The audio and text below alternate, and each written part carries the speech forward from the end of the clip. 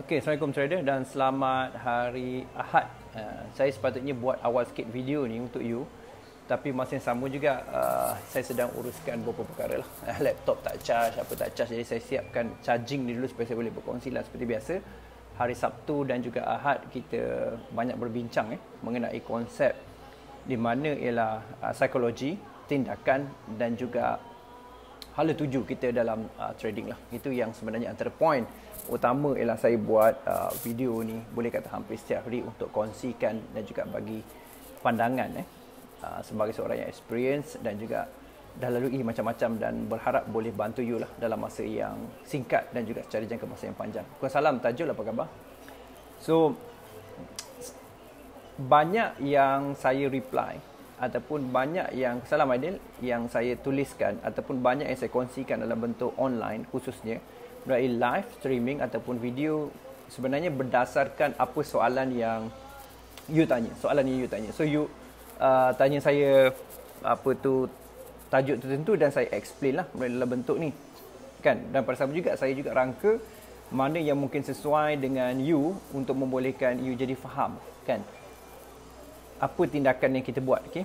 so persoalan yang paling utama yang saya nampak ialah ramai yang berhajat untuk menjadi FTT eh. Ramai yang berhajat menjadi FTT so ramai yang berhajat juga untuk menjadi uh, full time trader. Maknanya mengharapkan duit semata daripada trading tanpa mengharapkan duit lain dari segi kerja ataupun bisnes kan. Uh, Cairo selamat pagi. Selamat pagi, masih pagi lagi ni. Saya rasa dah pukul 12 lebih sekarang ni. Okay. So sekarang ni ini adalah beberapa perkara yang you perlu buat lah kalau you looking forward untuk FTT ya. Eh sebelum saya teruskan apa benda kena buat lah, you kena faham adalah lagi usia you meningkat kan, lagi banyak komitmen you ada, okay? Lagi usia you meningkat, lagi banyak komitmen you ada. So maksudnya lah, bila you dah mula macam ada keluarga, eh, ada family ataupun ada anak-anak dan sebagainya dan ada tanggungjawab yang lain. So maksudnya lah, dia memberikan you satu pressure ataupun bebanan yang membuatkan mungkin you susah untuk menjadi full time trader. Alright? Okay? So apa yang uh, saya nak you jelas ialah ha, ada yang cakap bangun bangun tidur lah tu yang tadi. So mungkin tempat dia pagi. Ha, you, kita tak tahu dia dekat mana. Okay, jadi antara benda yang awal yang saya kena nampak lah yang you kena faham bila konsep iaitu di mana peringkat awal ni you kena jelas iaitu kalau you lagi berusia, maknanya you lagi komitmen tinggi dan lagi sukar lah untuk FTT sebab tu antara kategori orang yang nak FTT ni antara berusia umur 20 pun ada 30 ada tapi mostly ramai juga yang bersedia untuk pencin dan ada income sendiri. Itu yang saya nampak lah dalam kelompok yang saya perasan ya. jadi antara benda yang you kena fikirkan ialah komitmen lah tadi. Uh, komitmen you. So bila sebut komitmen ni kita tak boleh gurau. Contohnya ialah perbelanjaan anak-anak sekolah eh, perbelanjaan keluarga ataupun perbelanjaan you sendiri expenses rumah kereta ataupun ada hutang-hutang you dulu. So semua itu memberikan you keadaan yang tak baik lah dalam keadaan untuk psikologi trading. Okay. So kesalam Fazal. So apa yang saya nak you tangkap ialah idea dia sekarang ialah. Untuk jadi FTT ialah bukan perkara yang mudah mungkin tanpa-tanpa you ada komitmen. So maksudnya ialah nak tak nak pun you kena ada ruang untuk membuatkan you trading tu bukan beban untuk bayar komitmen. So ini nombor satu you kena jelas itu. Jangan jadikan trading ni kan untuk penyelesaian mudah dan menjadi beban kepada apa yang you perlu untuk trading setiap hari. So why saya cakap macam tu? Why? Pasalnya dia akan kurangkan you desperate eh. Ha? Desperate. Azim kata hebat coach aku masih mamai. okay, banyak study kot Azim eh.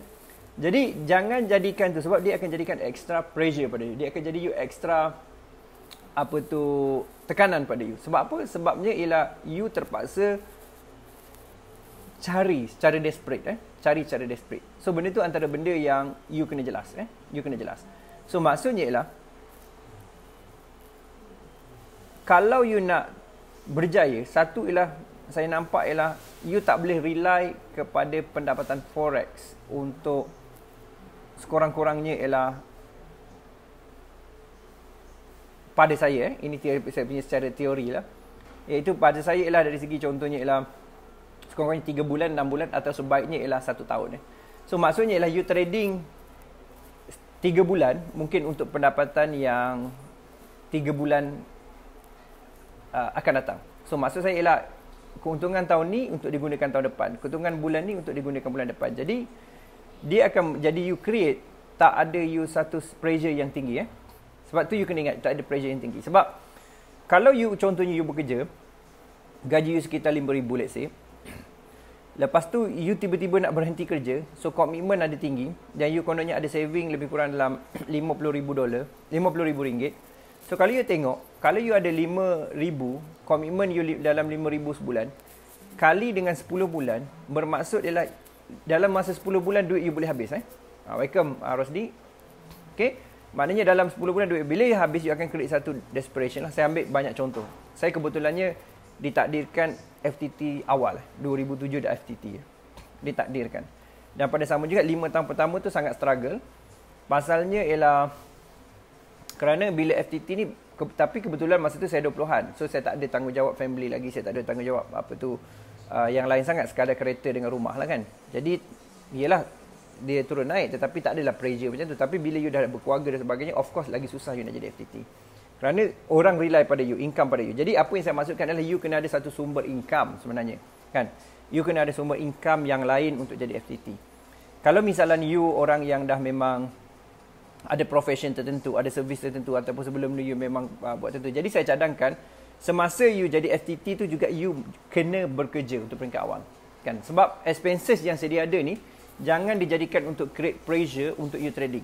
Sebab bila you create pressure untuk you trading, apa yang you buat ialah hari-hari you akan cuba cari duit eh 10 USD, 20 USD, 50 USD, 80 USD, 100 USD bergantung pada keperluan you.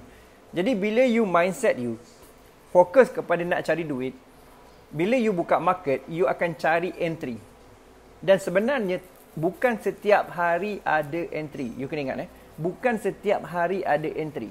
Kan? Even kalau you entry setiap hari pun, dia akan menjadikan you apa berlaku eh? Dia akan menjadikan you iaitu terlalu desperate nak trading dan akhirnya bila float dia akan jadikan you emosi kan? Okay. Ha, ada yang kata hentak lot besar dan sebagainya. so jadi ini akan jadi berulang. Maknanya tak tak tak penghabisan. Maknanya dia akan berterusan eh. Jadi benda tu you kena jelas. Jadi maksudnya ialah kena ada sumber income lain. Macam Azim kata multiple income penting kerana ia mengelak kita melakukan transaksi emosional kerana dia desak oleh emosi lah. Of course, eh, dia tulis apa tadi? Rupanya kena klik sini see more. Eh. Ah, ramai masih salah faham buat duit hari-hari. Yes, dia adalah bukan buat duit hari-hari.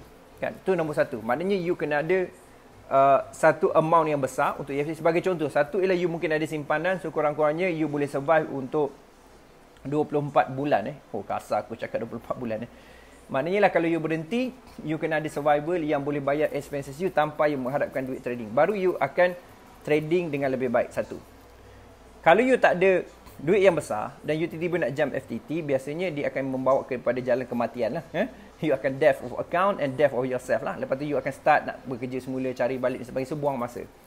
Yang kedua, apa yang you kena faham ialah, selain daripada tu, apa yang you kena faham ialah, semasa you juga menjadi FTT, you juga pastikan you boleh ada bisnes ataupun kerja lain juga. Bisnes ataupun kerja lain. So maksudnya lah dia mungkin datang daripada experience you bekerja. Mungkin servis yang you semula, semula jadi you naturally tahu. Sesimpel macam gunting rambut. Sesimpel juga macam uh, buat servis potong rumput. Uh, servis aircon ataupun mungkin you ada kepandaian dari segi dulu you consultant uh, dulu you bekerja sebagai profesional di sebuah syarikat so you menjadi consultant kepada orang so bergantung kepada bidang you. Okey jadi oh coach orang nak jadi FTT bukan nak jadi bekerja coach. Ini kau bagi cadangan pula suruh bekerja pula. Bukan. Maksud saya ialah you kena faham iaitu jangan create desperate dalam trading kerana terpaksa ambil duit daripada trading. Kerana you ingat trading ni macam apa tu jual retail lah jual retail dan dia adalah cash flow yang tak bagus. Sebenarnya jika topik ni adalah cash, cash flow, right? Ya, trade swing. Saya lagi suka intraday kepada swing. Eh. Jadi itu antara benda yang you nak kena tahu. Okay? Jadi maksudnya mesti ada modal yang besar. Ataupun you pada masa sama juga you bekerja supaya tak kira desperate. Itu nombor satu. Tapi sebelum pergi ke arah tu juga, kan? Apa yang you kena mahir lah sekurang-kurangnya you dah prepare. So apa yang dimaksudkan sebagai prepare? Prepare dari segi mental dan juga psikologi eh. Mental dan jadi psikologi. Yes, of course, IB adalah salah satu cara yang baik. Maknanya you jadi juga FTT, you juga jadi IB. Kan? You juga jadi IB. Yes, saya sokong. Kan? Jadi IB adalah cara yang baik sebab IB ni you dapat commission uh, apa tu bawa affiliate. Nombor dua juga mungkin you dapat yang lain lah daripada apa yang you deal dengan broker tu. So IB adalah benda yang saya juga sarankan sebab you dalam line yang sama. Okay. Lepas tu pada masa sama juga semasa you trading you kena mahir preparation mental dan juga psikologi you. So apa yang dimaksudkan mental dengan psikologi? Dalam konteks ni saya bagi dari konteks itu technical. Jadi tak kira lah you sebagai dalam technical trading kan dalam konteks technical technical trading ataupun you dalam fundamental trading so you sendiri kena jelas iaitu apa sebenarnya yang memberikan you keyakinan dalam trading you kan? Contohnya lah you entry berdasarkan technical you entry berdasarkan fundamental ataupun you entry berdasarkan both kan? Macam saya both eh. Saya nombor satu technical utama yang kedua ialah saya tengok fundamental sama arah saya akan hentam ikut arah yang fundamental. Faham? Jadi itu antara benda yang saya nak you nampak. So maknanya sekarang ni, apa yang saya nak you nampak ialah, saya, apa yang saya nak you faham ialah, iaitu sekarang ni apa yang saya nak you nampak dan faham iaitu, you mesti mahir trading forex dululah. Kan, sekurang-kurangnya, you tidak loss. Bukan saya kata profit eh, you tidak loss. Tiga bulan, akaun tu boleh bertahan. Maknanya ada modal 1000 USD, tak kurang daripada 1000 USD dalam masa 3 bulan. Okay, itu nombor satu. Lepas tu you tidak loss dalam masa 6 bulan. You tidak loss dalam masa 1 tahun. Itu adalah satu qualify ataupun prerequisite eh, uh, untuk membolehkan you uh, menjadi FTT. Sebab apa saya kata tak loss dulu? Sebab bila you ada ability trade dan juga tak loss, you akan automatic ada ability trade dan juga profit. Saya tak menceritakan berapa banyak profit. Saya tidak menceritakan 50%, 100% ataupun 30%, 10%. Dia sebenarnya kunci utama ialah jangan loss dulu. Nombor dua ialah you ada pro profit kan lepas tu barulah you maksimumkan profit dan kemudian lah nombor tiga lah baru you pergi uh, yang saya cerita topik semalam lah find the dragon dan sebagainya tak ada masalah eh? maknanya you cari benda-benda yang nak grow account macam mana teknik sebagainya tak ada masalah jadi forex ni sebenarnya ialah memang ada jalan untuk you profitable. Tapi pada masa sama juga apa yang penting ialah you kena faham iaitu bagaimana sebenarnya untuk bantu you trading you kena mahir sekurang-kurangnya untuk beberapa bulan. Eh? Tiga bulan 6 bulan dan juga untuk uh, 1 tahun okey? So you kena faham dekat situ. Alright? So ini adalah yang kedua penting. Nombor satu saya cerita pasal mesti ada modal ataupun dapat bekerja dengan lain. Modal tu bukan modal trading eh modal untuk you survive saya tak cerita modal trading langsung satu ialah modal untuk you survive bayar expenses dulu supaya tak create pressure Nombor dua ialah mahir teknik Jangan loss dulu sekurang-kurangnya 3 bulan, 6 bulan dan 1 tahun Itu nombor dua Maknanya kalau you trading minggu ni dapat 1000 dolar, minggu depan habis MC lima, ataupun hilang 50%, lepas tu turun naik turun naik itu memang tak boleh nak jadi. So, macam mana logik you nak dapat income dengan benda yang you tak konsisten, betul tak? Eh? Macam mana dapat income dengan benda yang tak konsisten? So, you kena faham dekat situ. So, itu antara benda-benda yang saya fikir penting untuk you tangkap dan juga you uh, ada kefahaman lah. Eh? Alright. So, part, jadi yang ketiga juga, ialah you kena start saving. Eh? Yang ketiga adalah you kena start saving. So apa yang saya maksudkan you kena start saving ialah you kena start ada modal yang besar, modal yang besar. Kalau sebagai contoh yang pertama ialah you tak ada duit langsung kan. So you mula dengan 100 USD. It's okay. Pastikan 100 USD itu tak MC lah. Faham tak? Jangan tiba lock gajah semua sebagainya sebab you nak create disiplin sebagai full time trader.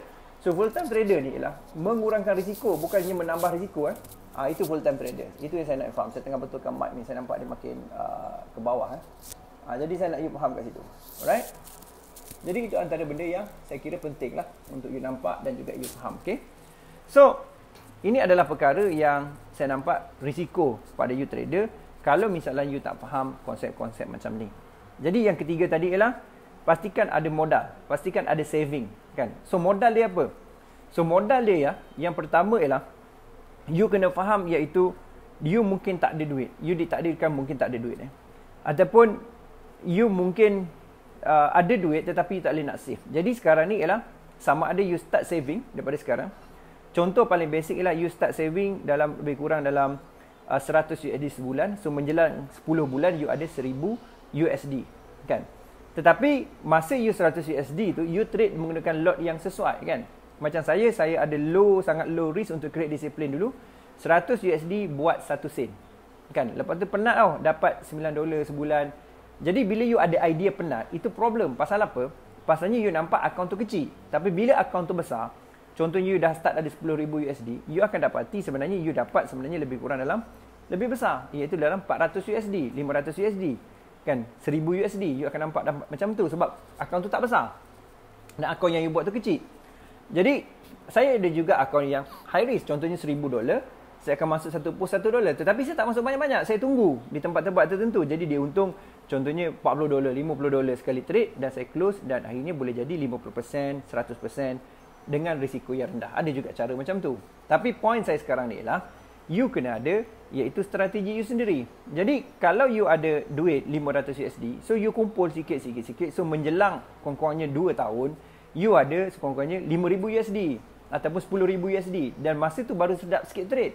Ha, kalau tidak susah tau nak trade akaun kecil dan kita dah mula belajar lah. Teknik gajah, teknik apa tu apa tu semualah. Semua benda yang yang yang you boleh nampak dan juga belajar lah.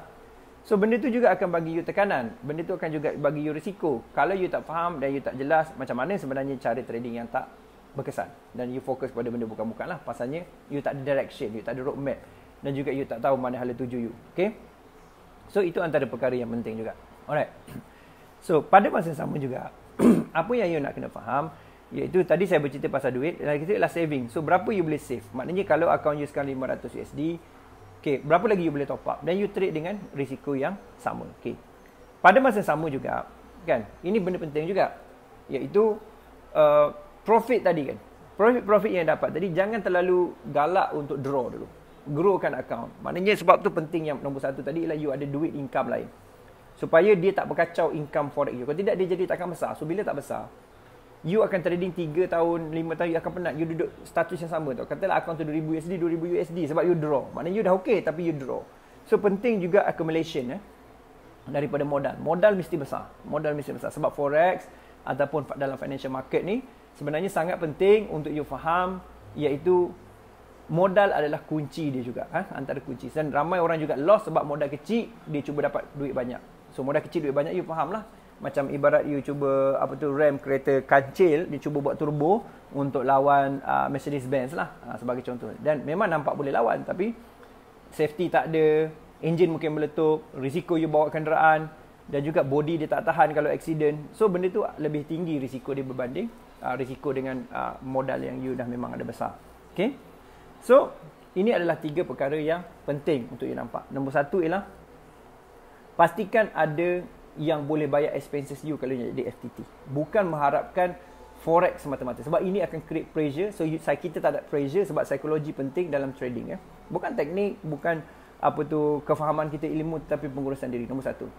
Nombor dua ialah apa you kena ingat ialah you kena faham ialah sekurang-kurangnya you ada teknik ataupun ada sesuatu yang boleh you buat menyebabkan you jadi konsisten tak loss nombor satu nombor dua ialah profit dan juga maximum profit okay? Itu yang nombor dua okay. yang nombor tiga ialah mesti ada modal so modal ni kena besar so kalau you tak ada modal kecil sekarang start grow kumpul kumpul kumpul tetapi dengan syarat yang dua tadi dah ada lah iaitu satu ialah tak spread by expenses nombor dua ialah apa itu uh, modal tersebut uh, teknik tersebut yang you dah guna memang sepatutnya tak loss ataupun dah mula profit sikit-sikit. Tak ada masalah. Dia bukan isu nak buat profit banyak. Sebab market ni bila you dah lama, you dapat market ni pergerakan dia berbeza. Ataupun masa dia berbeza. Ataupun ada time daily bergerak, ada time weekly bergerak, ada, bergerak, ada time uh, monthly bergerak. So, itu antara benda yang saya nak you nampak dan juga jelas. Alright? So, kalau you nak faham, inilah konsep dia. So, ini adalah benda yang sangat penting untuk persediaan sebagai you. Eh? Sebagai trader untuk you. Jadi tak payah tengok lah sebenarnya oh, Aku dah boleh buat account daripada uh, 100 USD jadi 1000 USD seminggu Aku buat account 1000 USD jadi 10,000 USD seminggu uh, Itu satu sudut yang baik. Tapi dia dah masuk kategori kepada uh, step yang ketiga keempat. So step pertama Trading dengan konsisten dulu. Konsisten maksudnya lah bukan pasal uh, profit all the time. At least you tak negatif Tak kena balance Nombor dua ialah mahir teknik supaya tak loss kan. Lepas tu yang pertama sekali ialah yang tadi ialah sebelum saya dah uh, saya masukkan yang topik ni ialah iaitu pastikan you tak ada desperate untuk bayar expenses, okey. Lepas tu yang ketiga iaitu fokuskan kepada untuk besarkan account modal. Kan kalau you masih lagi 2 tahun you trading modal you masih kecil 1000 dolar 1000 dolar. Ada orang kata, "Eh coach, saya memang trading jenis macam ni. Saya masuk 500 dolar saya akan draw 2000 dolar." It's good for you tetapi untuk long term dia takkan membantu pasalnya ialah dia hanya adalah semata-mata kerana you tak ada benda yang sustainability. Tak ada kebolehan untuk sustain benda tu. Takkan ada kebolehan untuk sustain. Why? Pasalnya ialah dia tak ada scalability. Dia tidak boleh diskalakan. Maknanya ialah kalau you dapat 2000 dengan risiko macam tu. Kalau you terkena you calculate dia tak ada scalability. Scalability ni melibatkan ialah uh, benda yang boleh di scale lah. Maknanya ialah kalau akaun you lagi besar dengan kekuatan you uh, 10% per month, dia akan obviously 10% tu akan bagi lagi banyak lah. Sebagai contoh, you ada 100 ribu, you dapat 10%, of course you akan dapat 10k per month. Itu sebagai konsep dia. So, ini adalah persediaan yang penting. Kan sebelum persediaan yang serius lagi. Sebab bila you dah masuk dalam full time trader, you kena cari broker yang betul pula. Sebab broker ni pun boleh kaput duit you. Kan? Kita tak tahu broker mana nak ni. Kita boleh kaput juga so pengurusan broker. Nombor dua ialah bila you dah FTT pula, macam mana you nak deal dengan dengan kehidupan seharian you. Contohnya nak beli rumah, you nak beli kereta, kehidupan biasa kan. Dalam ni, you memerlukan bayar tax, you memerlukan ada account company, macam mana nak menggunakan company PLT, enterprise ataupun sdn berhad. Itu kita cerita kalau you dah FTT. Ini kita bagaimana nak jadi FTT. Lepas tu jadi FTT. So dalam FTT pula, you kena create pula. Iaitu bagaimana nak hidup sebagai orang normal. Sebab di Malaysia ni, terutamanya, ramai lagi, bukan ramai, bank kita tak iktiraf kan bukan? Bukan bank eh. Kerajaan tidak iktiraf ini adalah salah satu sumber uh, pendapatan yang ditaxkan. Kalau saham tu senang dia tax kat bursa. Macam kita ni dia nak tax kat mana kan? So bila proses over the counter ni apa yang yang yang susah untuk untuk dapatkan benda ni? Maknanya you kena ada bentuk bisnes lah. Income daripada bisnes so you kena buat income daripada bisnes eh. Uh, so maknanya dari segi tax you kena faham uh, dari segi pengurusan kewangan secara luar you kena faham dan juga bagaimana untuk you beli rumah, you, untuk you apa tu uh, purchase kenderaan ataupun you nak buat apa benda yang patutlah sebagai manusia normal. Itu dah cerita FTT. Ini cerita tadi ialah perjalanan jadi FTT. Bila FTT dari perjalanan dia pula. Uh, so kita tak akan cerita untuk kali ni lah. Saya cuma bagi intro ataupun sedikit chunk of uh, pengalaman saya. Alright, all the best. So bagi yang you nak uh, serius eh dan juga untuk uh, belajar secara long term bagaimana at least tak uh, apa tu tak uh, makan akaun ni lah. Eh, maknanya at least you tak loss uh, dan juga you nak increase you punya pendapatan uh, daripada uh, selalu loss kepada profit eh, dan ataupun you nak maksimumkan profit you saya jemput you hadir dalam saya punya program uh, BB Mastery Workshop. Saya fokuskan kepada fokus penggunaan uh, BB Mastery secara basic kan untuk daripada you zero kepada intermediate dan juga kepada advance sekali. Sebab tu pada yang kata pula, eh saya ni tak, tak tahu siapa sangat boleh ke belajar advance, boleh faham ke? Dia bukan isu faham. Sebab saya tak expect you faham dalam kelas. Eh. Saya expect lah you ambil sesuatu pada kelas untuk aplikasi lepas kelas. Sebab tu support system penting. Selepas kelas tu saya akan ada support system untuk bantu you pula dalam masa beberapa minggu dalam live trading. So penting. Lepas tu you follow saya lah di uh, channel YouTube dan juga channel Telegram dan juga apa tu di uh, Facebook eh Facebook profile dan page macam ni. Alright. So program ni dua hari kan daripada basic ada semuanya total lah tujuh pasal daripada uh, chart kosong, indikator, signal trend entry, uh, analisa, analisis trend dan juga entry segment. Lepas tu sehingga advance entry dan juga akhirnya you boleh grade jadi BB Mastery Trader. Masuk dalam alumni dan insyaAllah saya akan bantu you dalam bentuk long term. Alright. Lepas tu pada masa yang sama juga dekat situ juga kita akan membincangkan bagaimana sebenarnya untuk dapatkan satu strategi ataupun plan untuk membolehkan you bawa balik. Sebab tu ada advance entry. Advance entry ni membantu you dari segi kefahaman untuk lihat trend yang lebih probability tinggi dan juga pada sama ia dapat entry yang lebih baik. Itu adalah untuk selesaikan solution yang nombor dua tadi yang saya cakap iaitu ada teknik yang konsisten. Alright. So all the best. Saya doakan you kaya berjaya dari segi kewangan, masa hubungan kesihatan dan fikiran yang baik. InsyaAllah kita akan jumpa uh, untuk uh, video seterusnya.